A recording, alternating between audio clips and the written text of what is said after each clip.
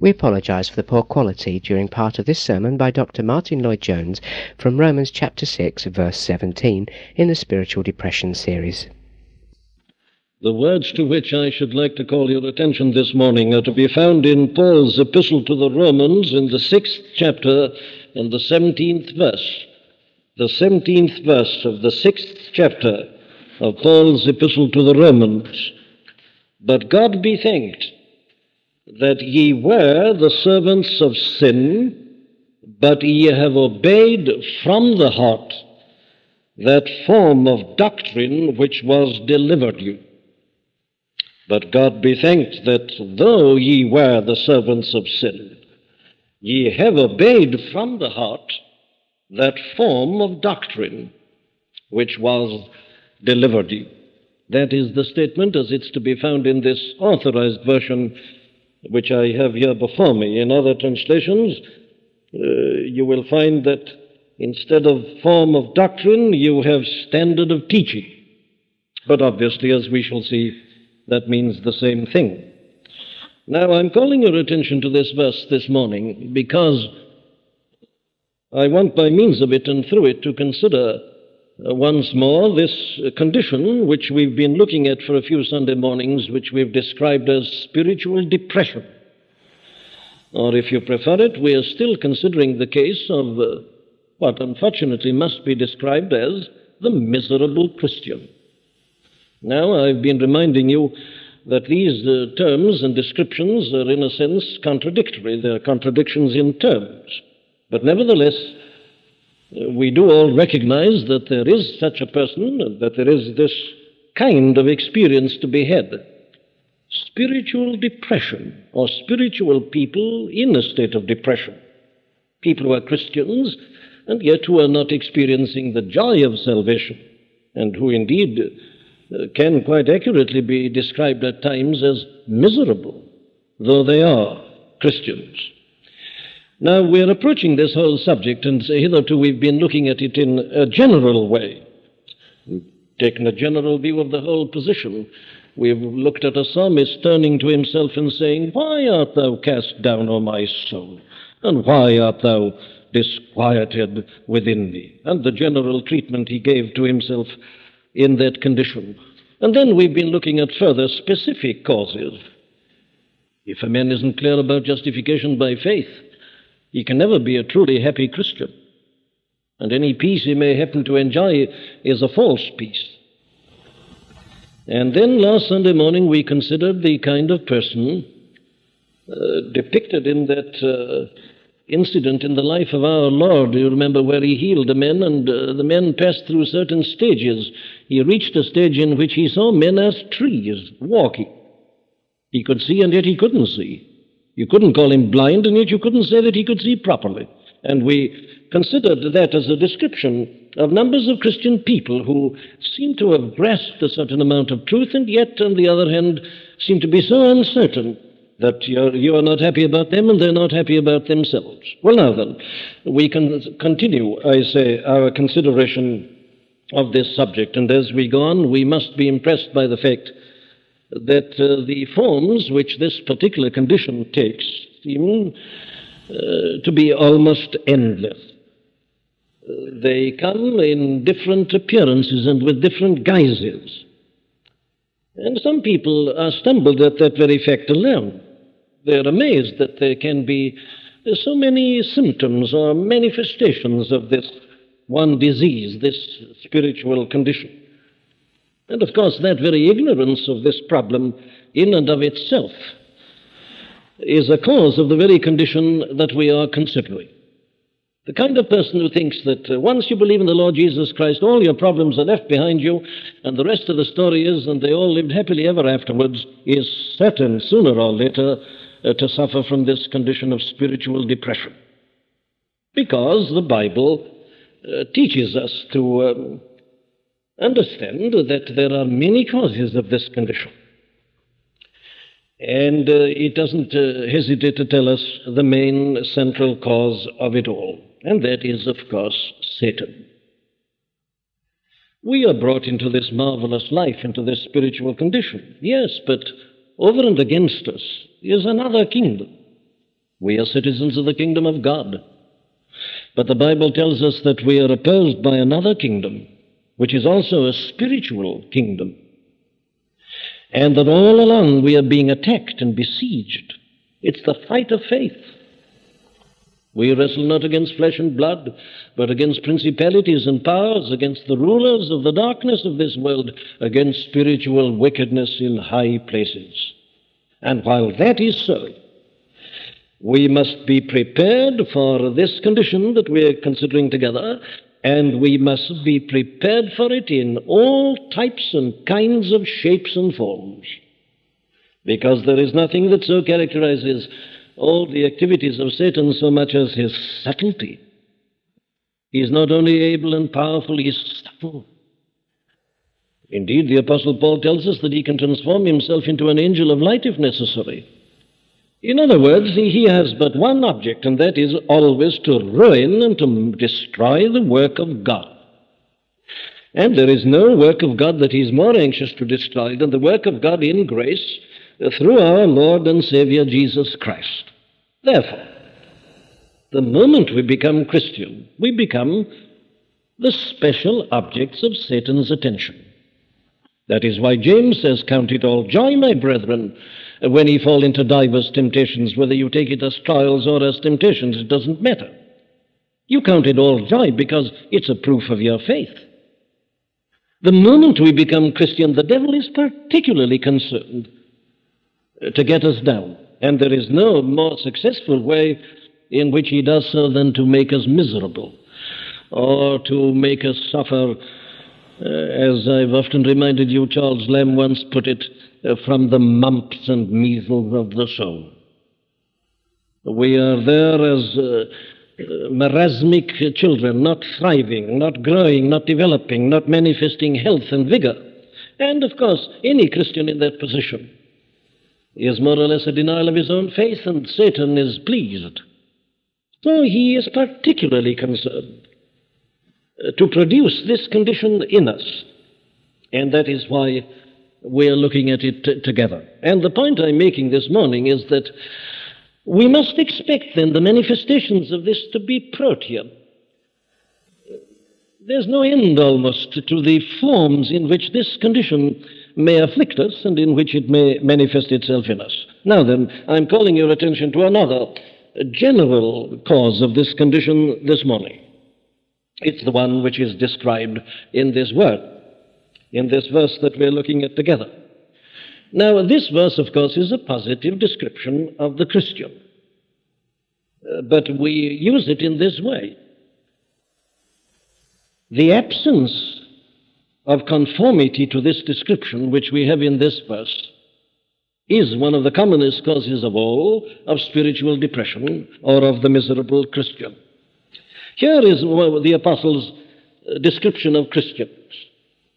He says, You were the servants of sin.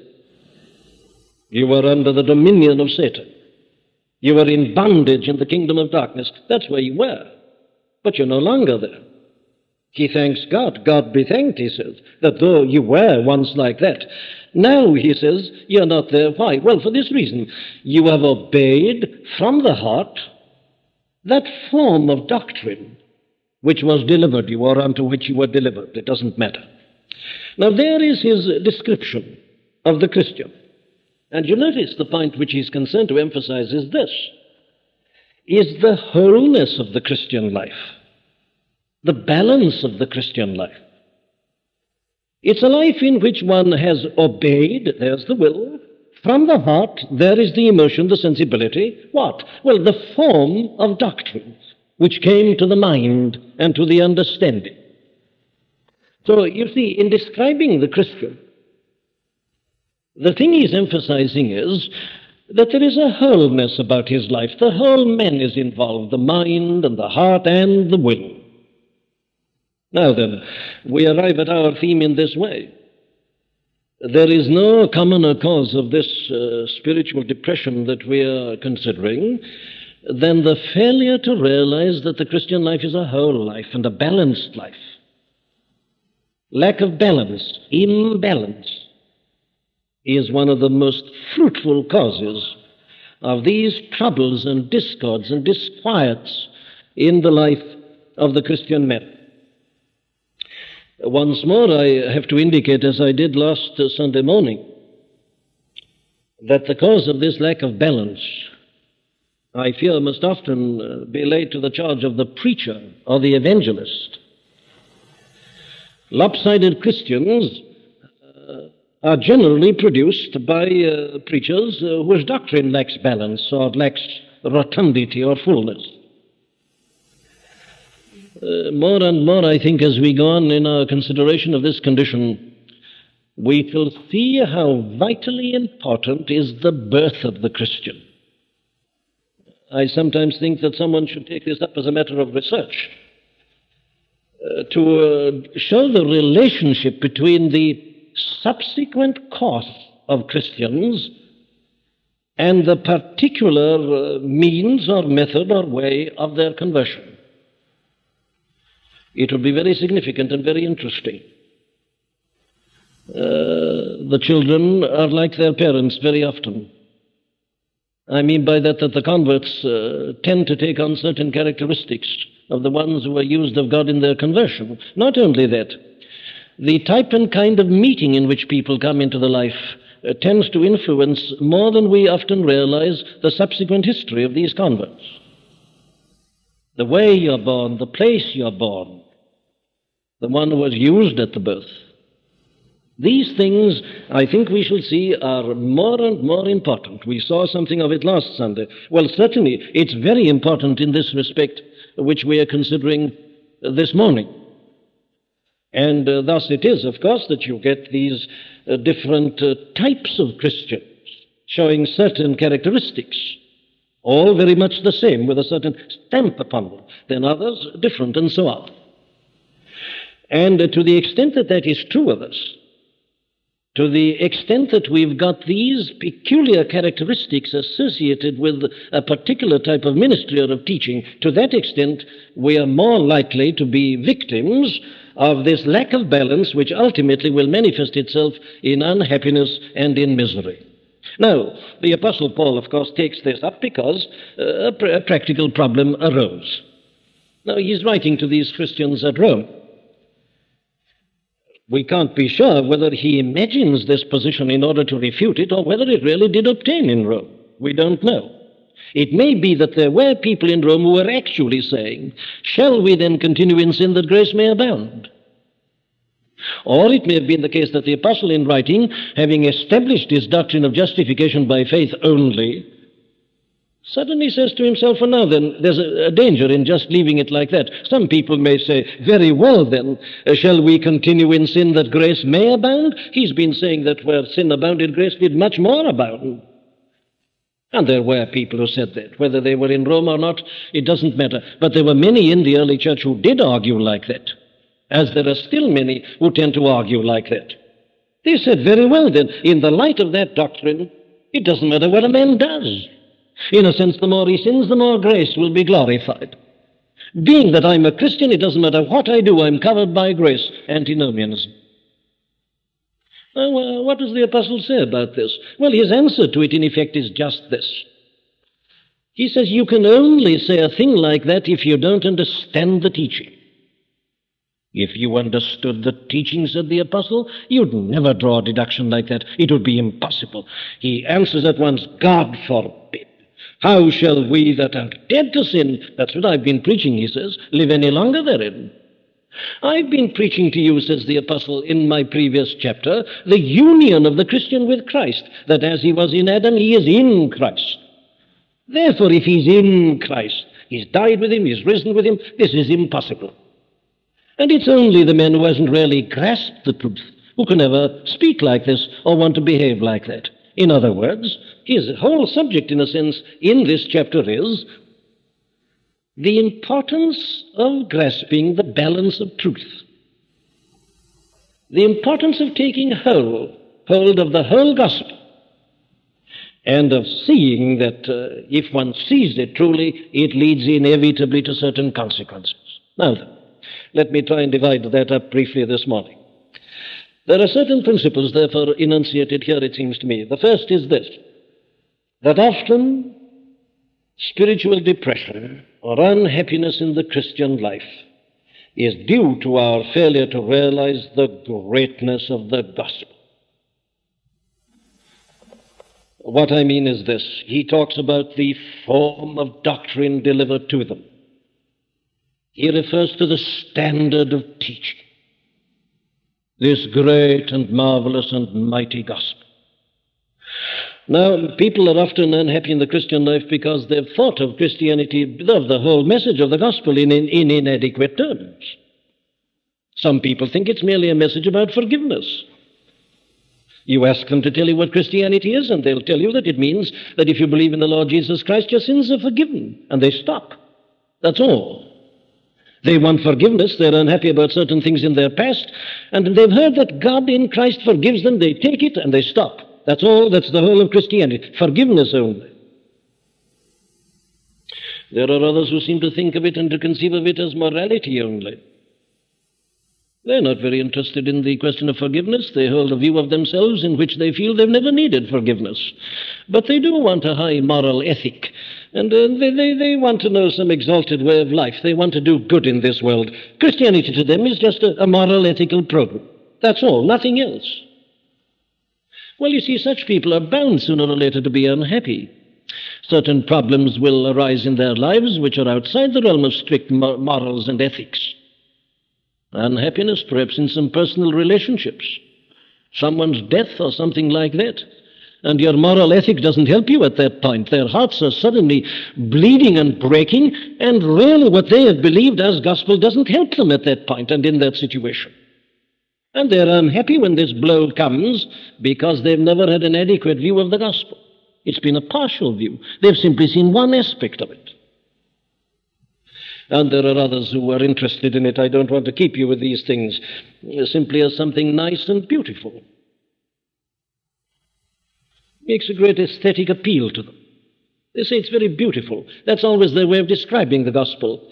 And they can't come into details, but uh, somehow or other the entire thing seems to them to be very beautiful and very wonderful, and they feel better whenever they've considered it. Now then, I'm putting all those incomplete and partial views over against what the apostle here refers to as the form of doctrine, the standard of teaching, the great truth which he elaborates in this very epistle to the Romans these mighty arguments and propositions, these flights of divine imagination.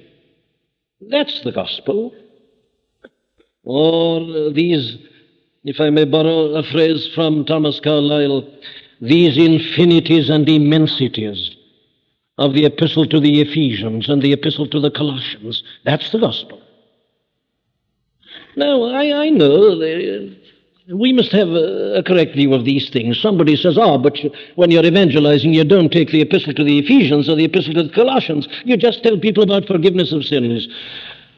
I know, in a sense, that's right, but in a sense, it's wrong. I had a letter from a friend who attended here a few weeks ago. I've never had the pleasure of meeting him. But he said a very significant thing. I'm not interested in and not concerned about what he uh, actually said about me, but I've got to tell you what he said, and it includes me in order to bring out my point. It was this. He'd been here on a Sunday night, and he said he'd made a discovery. And the discovery he said he'd made was this that in a service which was obviously primarily evangelistic, there was something for believers. He said, I never understood that that could happen. He said, I never knew that that was possible that in the one and the same service, an evangelistic meeting could be, a message could be preached to unbelievers, and yet it would have a message for believers which would disturb them. Now that man was making a great confession. You see, he was telling me what his view had been hitherto of the evangel. It was this partial, incomplete one. Just selecting out one or two things. My friends, the way to evangelize is to give the whole counsel of God. But people say, you know, we haven't time for these things these days. We are so busy and so on. Let me remind you that the Apostle Paul, this mighty man of God, with this tremendous doctrine, preached that sort of thing to slaves in the first century. Not many mighty, not many noble are called, but that's what he gave them. These great arguments of the epistles, this tremendous presentation of truth. The gospel isn't a partial thing. It takes in the whole of men, the whole of life, the whole of history, the whole of world. It tells you about creation. It tells you about the final judgment and everything in between. It's a complete, a whole view of life. And I'm saying this morning that many are unhappy in the Christian life because they've never realized that. They've never realized that it is a way of life, that it caters for the whole of a man's life and covers every eventuality in his experience, that there is no aspect or phase of his life and of his activity, but that the gospel has something to say about it. The whole of life must come under it because it's all inclusive.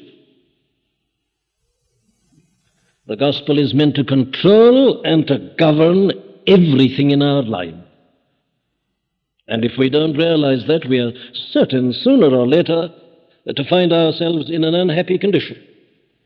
So many, uh, because they indulge in these uh, harmful and unreal and unscriptural dichotomies, and only apply their Christianity to certain aspects of their life, then, then they're bound to be in trouble. It's quite inevitable. Very well, that's the first thing that we see here. We must realize the greatness of the gospel, its vast eternal span. We must dwell more, I say, in the riches and in the richness of these great doctrinal epistles. That's the place we are meant to go on to. We're not always to be staying in the Gospels, as it were. We start there, but we go on. And there, as we see it all worked out and put into its great context, we realize what a mighty thing it is, and that the whole of our life is meant to be governed by it. But that brings me to my second point, which in the same way as we often fail to realize the greatness and the wholeness of the message, we fail to realize that the whole man must likewise be involved in it and by it. Ye have obeyed from the heart the form of doctrine delivered unto you. Now, man is a wonderful creature. He is mind, and he is heart, and he is will. And these are three vital and essential parts of us. Whether we like it or not, it's a fact. Those are the three main characteristics of man. God has given him this mind, He's given him a heart to feel, He's given him a will whereby he can act. Now, that one of the greatest glories of the gospel, I always think, is this, is that it takes up the whole man. And I go so far as to assert that there is nothing else that does that. It is only this complete gospel, this complete view of life and death and eternity and everything that is big enough to include the whole and the entire man. And again, it is because we fail to realize that that many of our troubles arise. We are partial in our response to this great gospel. Let me just suggest uh, some details to you to substantiate my point. There are some people in whose case the head only seems to be engaged, the intellect, the understanding. They, uh, they, they tell us that they're tremendously interested in the gospel as a point of view, as a Christian philosophy. These are the people who are always talking about the Christian outlook or the Christian attitude. Or uh, perhaps the jargon of today would say the Christian insights. Uh, it's something purely philosophical, something entirely intellectual. Now, I think you'll agree there are large numbers of people in that position at the present time. Uh, Christianity to them is just that. It's, it's, it's a matter of tremendous interest. They say now, if only this Christian point of view, this Christian attitude could be applied, and they want to apply it in, in politics and in industry and in every other realm, all our problems would be solved. It's primarily this intellectual attitude and point of view. Or there are others, not so many today perhaps, but it was once very common, uh, whose uh, sole interest in um, the gospel was their interest in theology and in doctrine in metaphysics, and in the great problems and the arguments and the discussions. I speak nostalgically of those days. They've gone. Not that I want to defend them, but how infinitely preferable they are to the present condition. But there were people whose only interest rarely in the gospel was interest in theological problems. And they argued and debated and discussed them. Their minds were very much engaged. This was their intellectual hobby, their intellectual interest. But the tragedy was that it stopped at the intellect. Their heads were packed full of theology, but their hearts had never been touched. Not only was there an absence of the grace of the Lord Jesus Christ there, but there was sometimes even an absence of the ordinary milk of human kindness. These men would argue and debate and almost fight about particular doctrines, but were hard, couldn't be approached. You'd never go to them if you were in trouble. You felt they wouldn't understand, they wouldn't be able to sympathize. And still worse, it wasn't at all applied in their lives.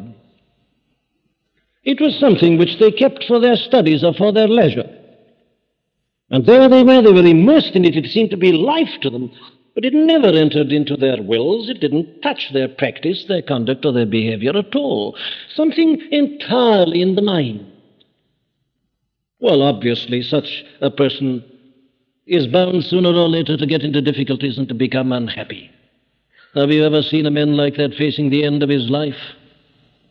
Have you seen him when he can't read or when he's on his deathbed? I've seen one or two. I don't want to see another. It's a terrible thing. When a man reaches that point when he needs this thing most of all, it doesn't help him because it's never been applied anywhere. It's never moved him. It's never really gripped him. It was an intellectual hobby.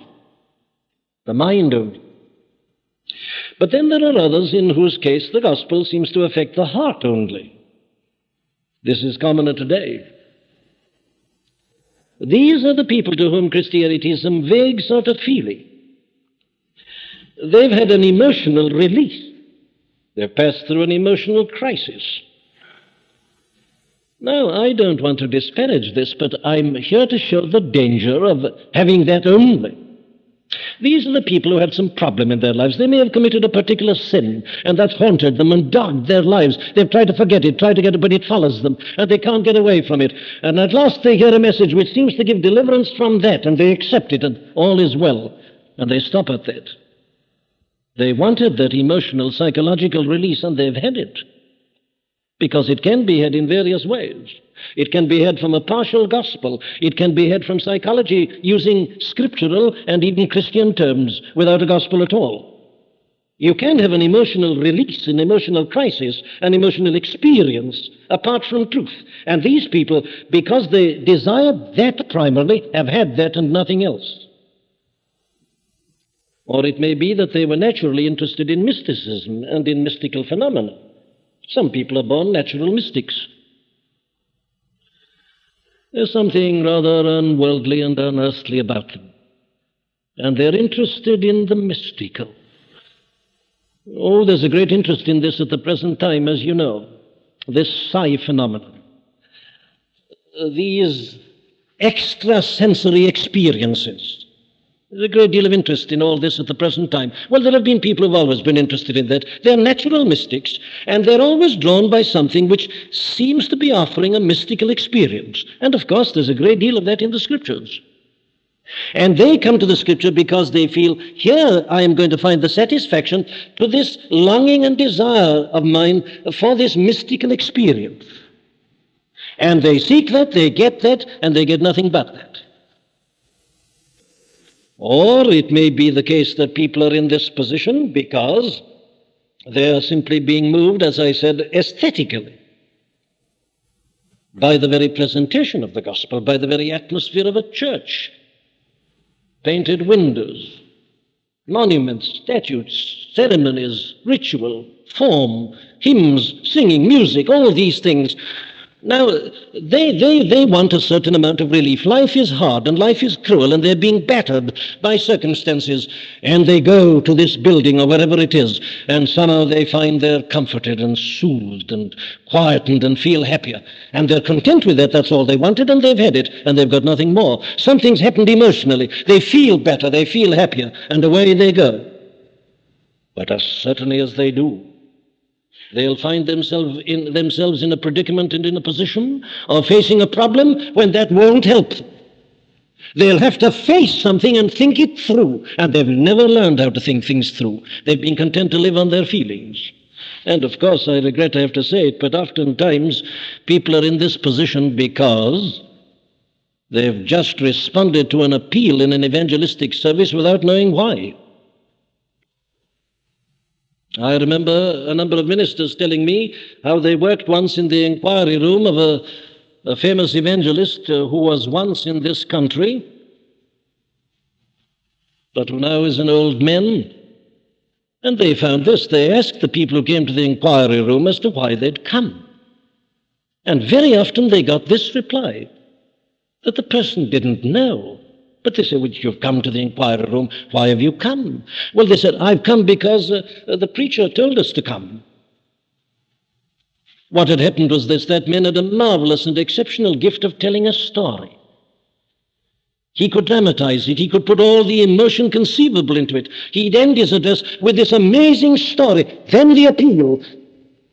And people in a kind of trance almost walked down the aisle and went to the inquiry room. They didn't know why. They'd been moved, they'd been fascinated.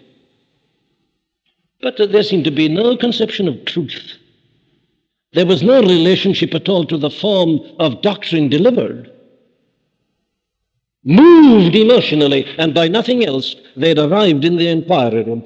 Now, my friends, it is quite inevitable that such people will find themselves in trouble. They'll be unhappy and they'll be miserable. They'll get depressed. The feeling will go or something, and they won't know where they are, whether they've ever had anything or not.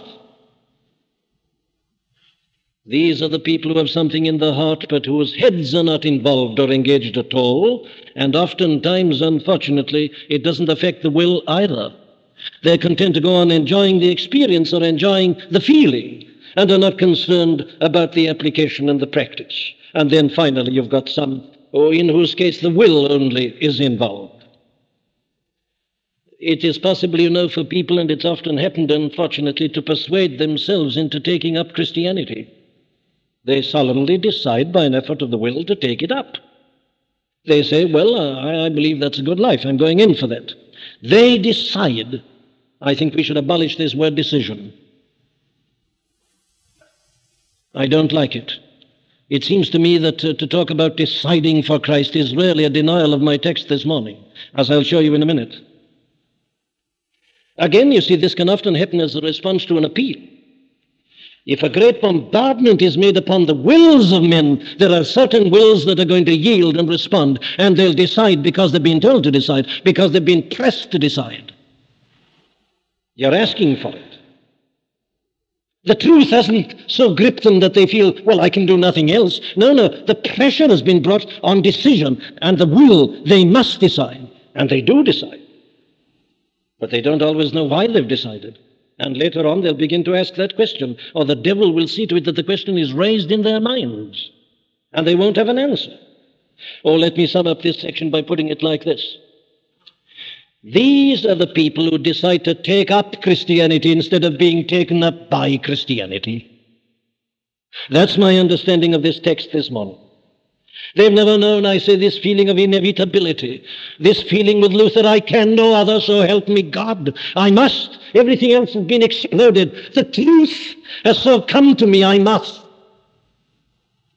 That's what Paul is really saying in this chapter. God forbid, he says. What are you talking about? Don't you realize what the truth is? How can you say, let us continue in sin that grace may abound? It means you don't know what grace is.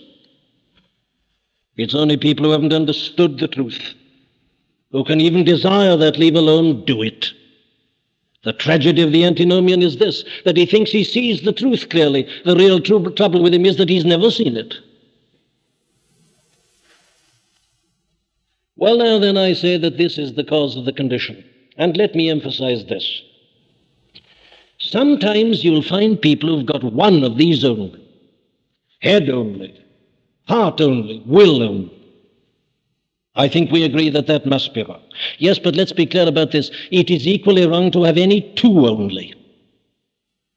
It is equally wrong to have the head and the heart only without the will, or the head and the will without the heart, or the heart and the will without the head.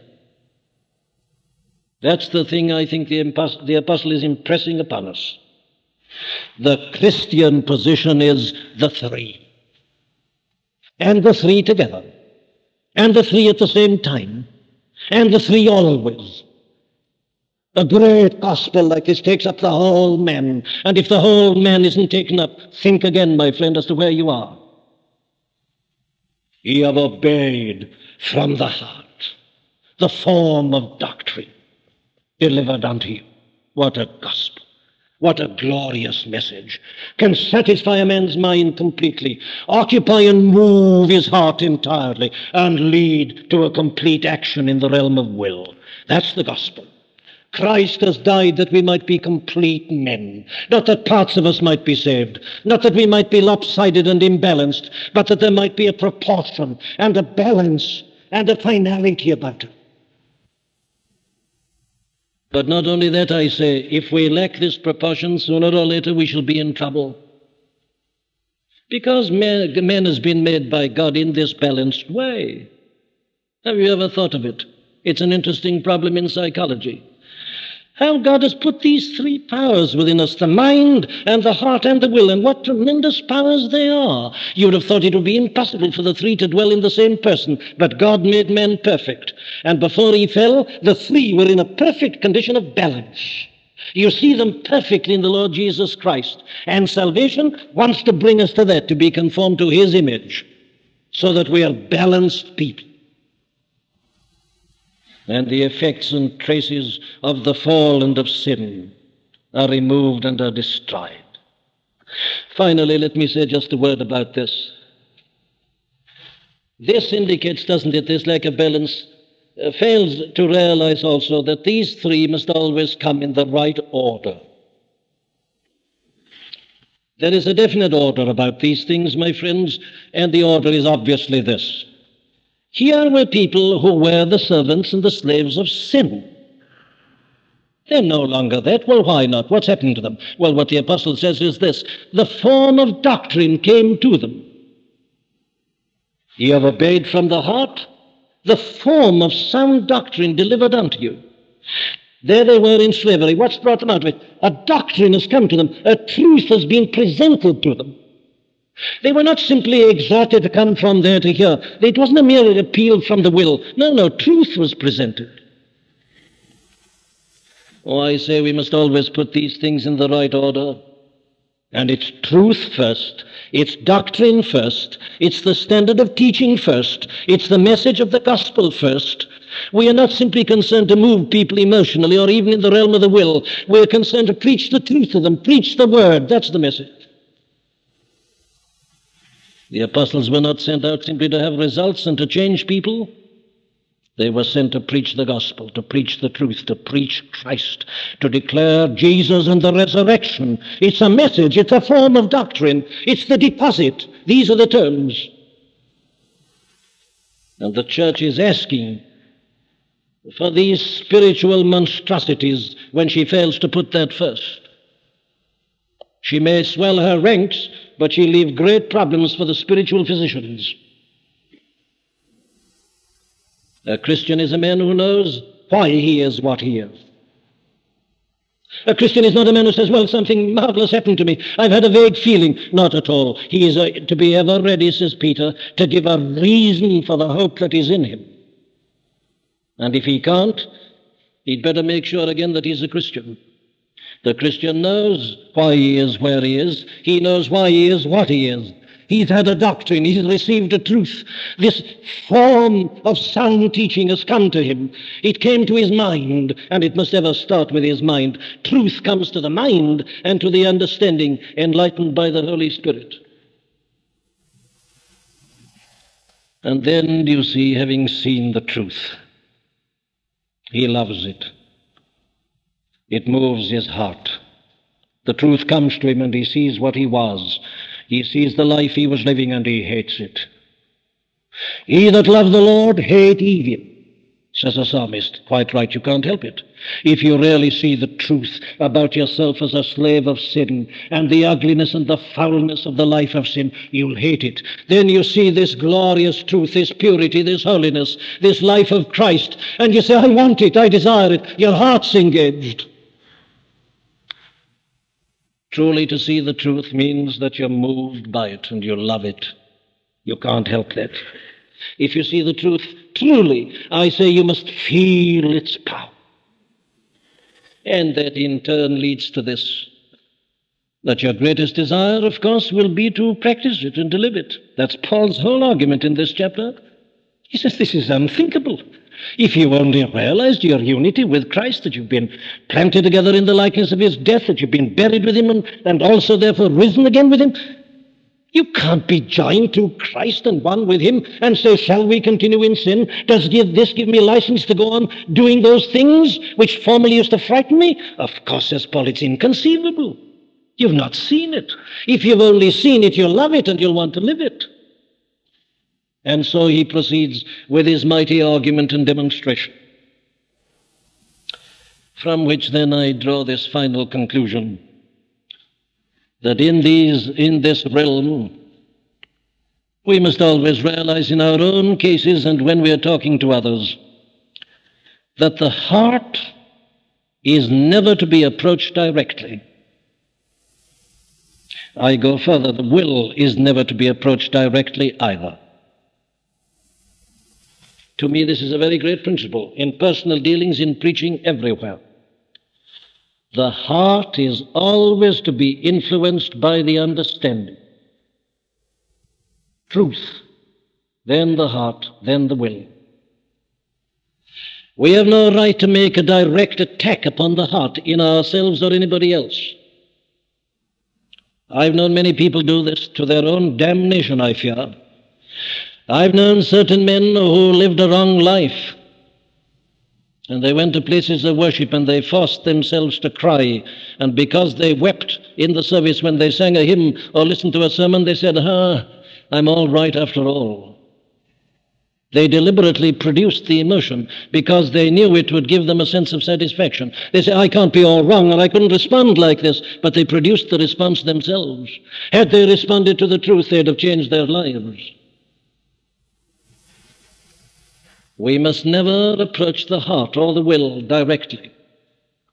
They must be approached via the truth that comes to the greatest gift of God to men, the mind and the understanding. God made man in his own image, and there is no question but that the greatest part of that image is this mind, this ability to comprehend truth. And God has endowed us with that. And God sends truth to us in that way. But God forbid, I say again, that anybody should therefore think it's only intellectual. No, no. It starts there, but it goes on and moves the heart. And the man yields and acts with his will. He obeys. Not grudgingly or unwillingly, but with a whole heart. This glorious, perfect that has so persuaded his mind and has captivated his heart.